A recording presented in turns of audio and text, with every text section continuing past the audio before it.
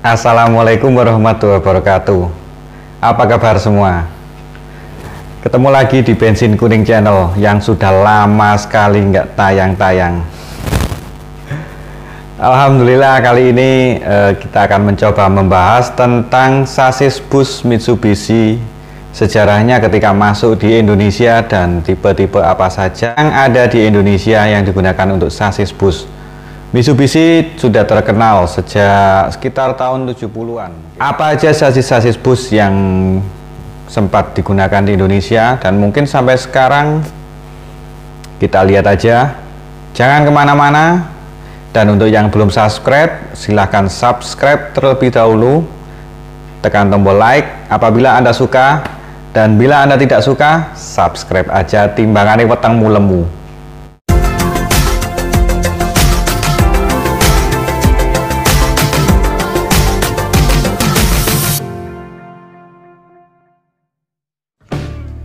Nama besar Mitsubishi di segmen medium bus sudah tidak diragukan lagi. Mengingat Mitsubishi sudah puluhan tahun menjadi market leader di segmen ini. Namun untuk segmen big bus, mungkin banyak yang sudah lupa jika dulu Mitsubishi melalui PT Kramayuda 3 Berlian Motor atau yang disingkat KTB pernah mewarnai segmen penjualan bus besar di Indonesia selama edarnya di Indonesia pada dekade 1970 sampai tahun 2000-an. Bus produksi Mitsubishi cukup bertaji dan mampu melawan sengit para brand rivalnya seperti Hino, Nissan Diesel, dan Mercedes-Benz.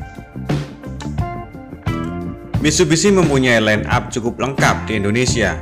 Untuk segmen bus front engine ada Mitsubishi BM, sedangkan untuk segmen bus rear engine ada Mitsubishi RM namun semua bus Mitsubishi yang beredar di Indonesia, Mitsubishi BM 117 lah yang paling mendapat tempat di hati rakyat Indonesia.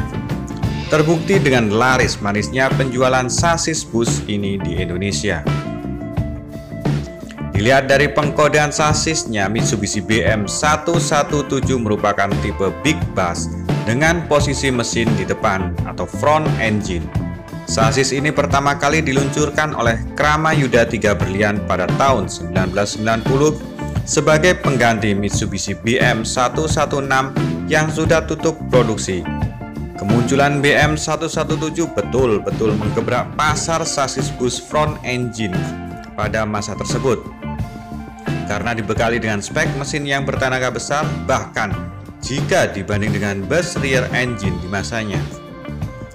Sasis baru ini disokong dengan mesin 6D16 1A berkekuatan 190 PS dan bertorsi 530 Nm. Terbesar di kelasnya.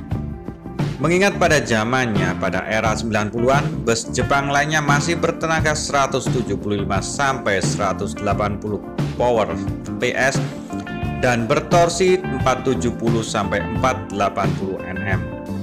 Tenaga mesin yang besar kemudian disalurkan ke roda Fiat transmisi manual 5 speed tipe M6S5 5 speed. Perpaduan antara mesin bertenaga besar dan rasio transmisi yang tepat membuat Mitsubishi BM sangat perkasa di jalan. Kencang dan lincah seakan sudah menjadi trademark sasis ini. Tak heran jika beberapa bus yang legendaris akan kecepatannya seperti PO Luragung di Jawa Barat, PO Akas, dan PO Sumber Kencono di Jawa Timur banyak menggunakan armada Mitsubishi BM117 sebagai armada andalannya.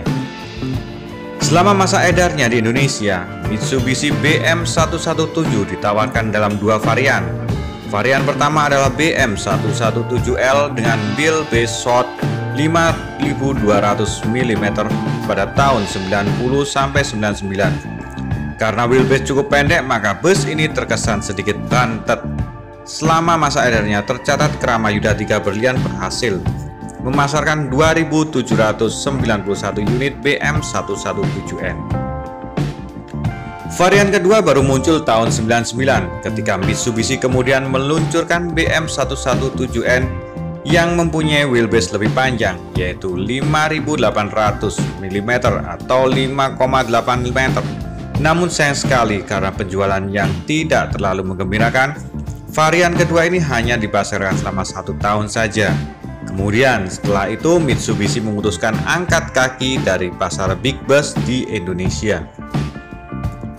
Kini beberapa sasis BM117 yang tersisa masih banyak dijumpai beroperasi di jalanan, utamanya sebagai bus Bumel.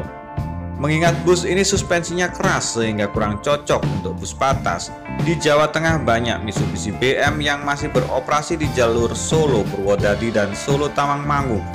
Sedangkan untuk area Jawa Barat, PO Loragung masih banyak mengoperasikan untuk trayek Cirebon Kuningan. Alhamdulillah itu tadi tipe-tipe mulai dari tahun berapa Mitsubishi memperkuat armada bus kita. Untuk yang belum subscribe, silakan subscribe dan tunggu video berikutnya. Semoga segera tayang-tayang lagi video-video menarik yang kami persembahkan untuk Anda semua. Jangan lupa subscribe dan wassalamualaikum.